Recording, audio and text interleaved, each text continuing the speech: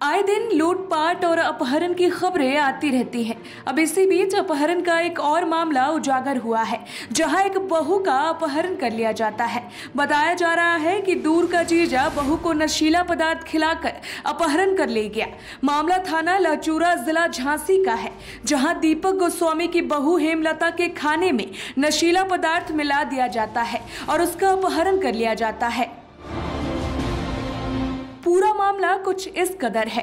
पीड़ित संदीप गोस्वामी ने बताया है कि हेमलता के रिश्ते में लगने वाले जीजा नरेश योग आलमपुर थाना सेवड़ा, मध्य प्रदेश का निवासी है, जो अक्सर मेरे घर अपने साथी अमन के साथ आता जाता था।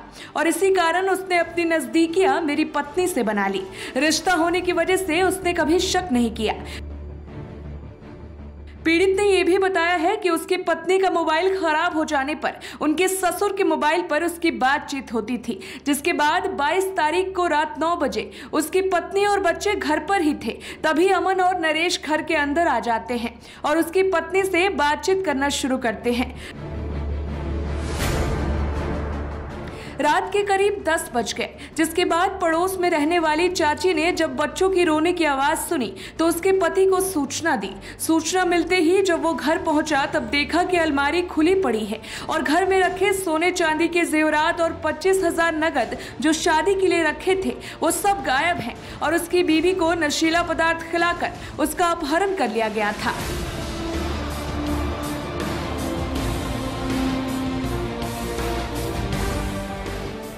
जिसके बाद वरिष्ठ समाज सेवी पीड़ित परिवार को लेकर थाना कोतवाली पहुँचे और वहाँ उनकी मुलाकात सीओ से करवाई।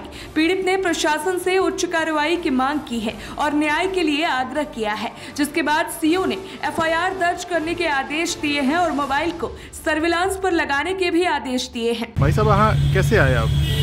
हमारे शहर के गोस्वामी परिवार के हमारे परिवार के लोग हैं ये लोग। शहर के निवासी हैं बाहर उन्नाव गेट परसों रात को इनकी बहू, इस बेटे की मतलब बीवी हमारी बहू, किसी दो अज्ञात लोग उसे जहरीला नशा नशा वाला पदार्थ खिलाकर अपने सामने अपने करके ले गए और उसके साथ साथ काफ़ी इनके घर की चीज़ें, सोना, चांदी वगैरह भी गायब है। जिसके लिए लोग दो तीन दिन से यहाँ कोतवाली आ रहे थे, लेकिन किसी कारणवश इनकी एप्लीकेशन ले ली गई, लेकिन उस पर कार्रवाई चल रही थी, लेकिन एफ़ नहीं हुई थी। आज सी ओ साहब ने एफ़ का पूरा आश्वासन दिया है और आज शाम को इनकी एफआईआर हो जाएगी।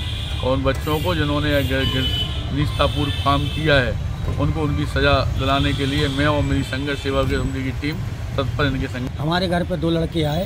हाँ। नरेश सनोफ मुन्ना हाँ। और अमन सनोफ रवि तिवारी। कहाँ के हैं? ये लोग आलमपुर दमोह के हैं। हाँ। घर पे खाना खाया। हाँ। बहू को जहरीला पदार्थ विषाक्त पदार्थ खिलाकर हाँ। बेला फुसलाकर अपहरित करके अपहरण करके ले गए। कब की घटना है ये? ये परसों रात की है। परसों से अभी तक आपने कोई कोतवाली के चक्कर लगा रहे दो दिन से। हाँ। कोई सुनवाई नहीं हुई। अभी बिसाती बाज़ार निवासी समाज सेवी हाँ। संदीप जी के घर गए। हाँ। जब उनके पास गए वो हमारे साथ आए। हाँ। तब सीओ साहब ने हमारी एप्लीकेशन ली। हाँ। उन्होंने आश्वासन दिया कि तुरंत कार्रवाई की जाए। और शीघ्र ही पीड़ित को न्याय दिलाने का आश्वासन दिया है। झांसी से धर्मेंद्र बख्शी की रिपोर्ट। Voice of Bharat